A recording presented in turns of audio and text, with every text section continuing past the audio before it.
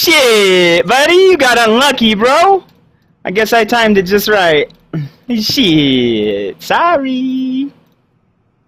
You just got wrecked.